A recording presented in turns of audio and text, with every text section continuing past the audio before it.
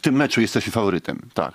Trzeba mówić to jasno i, i, i, nie bać się tego, i nie wstydzić się tego. możemy zrobić w tym meczu zdecydowanie więcej. Możemy naprawić to, co zepsuliśmy podczas tych e, meczów e, w grupie.